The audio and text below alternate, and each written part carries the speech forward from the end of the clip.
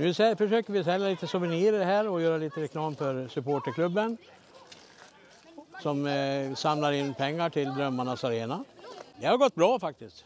Nu är det många som kommer tillbaka här i perioden och efter matchen har de lovar. Så, så det är kul. Det är kul att vara i Malung. Jag har varit både Färjestad och Leksands supportrar här. Så det är roligt. Jättetrevligt och det är kul att eh, just Malung, för jag gillar klubben här och atmosfären. Mycket trevliga människor här. Jon Knuts nummer 13. Han går inte av för hacker. Sen har vi våran Johan Eriksson härifrån som har gjort en underbar låt som jag tycker alla ska in och lyssna på. Ja, det är klassiskt. Malung-Färjestad i Malungs ishall. Det var väl sist var väl Leksand... Jo, Leksand-Mora har vi sett en, en sväng. Nej, jag minns jag såg Malung-Leksand jag sett här när Lill-Melle var med, men det var, det var ett tag sedan. Det var inte så många här som var födda. Nej, det är otroligt kul. Ja. Ja, men i Malung är ju klassiskt. Det är, ja, det är spännande. Alltså. Ja, det var spänt. Jag säger 3-3, så vinner på straffar. 4-3. Han Kemper sätter han på nutet. ja, bra. Hopp.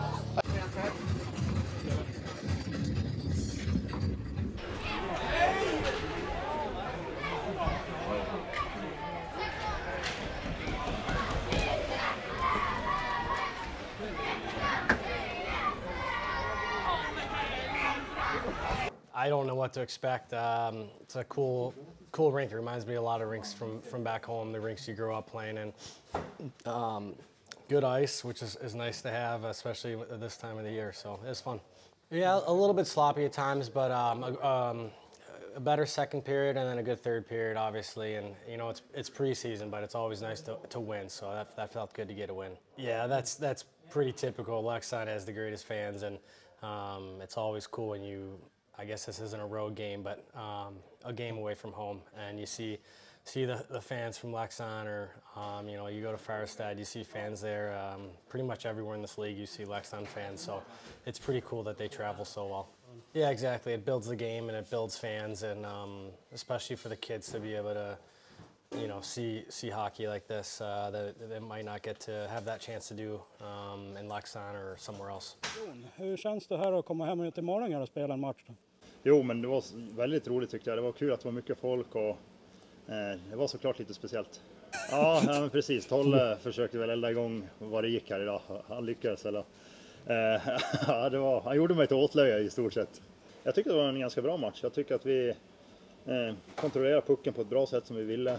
Jag tycker att vi får stopp i spelet precis som vi också vill. Så att jag, eh, skönt att få vända framförallt också ett eh, underläge till en vinst. Så att det, det var bra för moralen.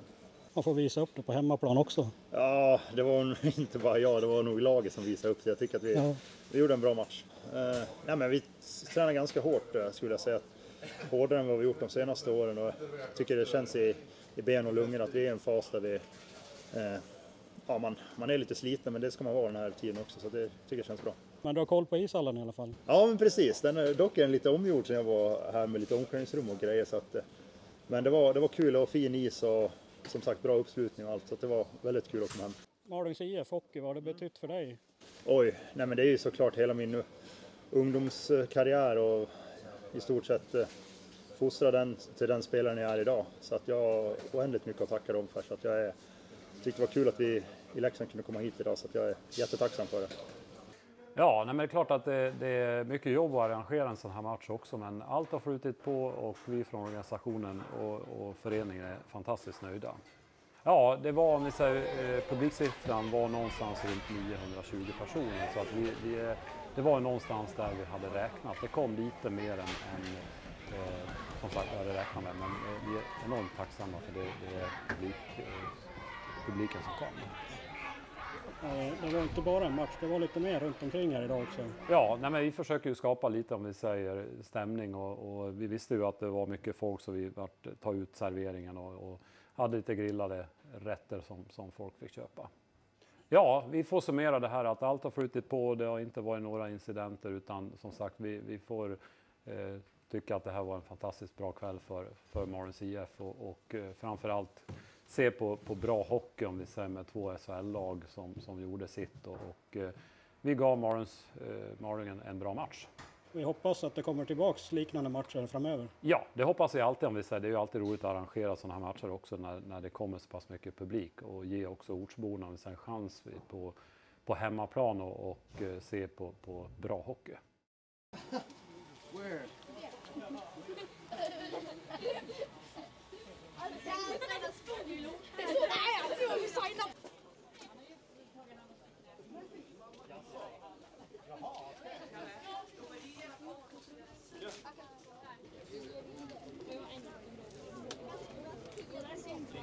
Jonknöts tillbaka på hemmaplan som segrare dessutom. Om vi börjar i den änden, hur var det att komma hem till Malmö? Ja, jätteroligt. Det var det. Bra uppslutning.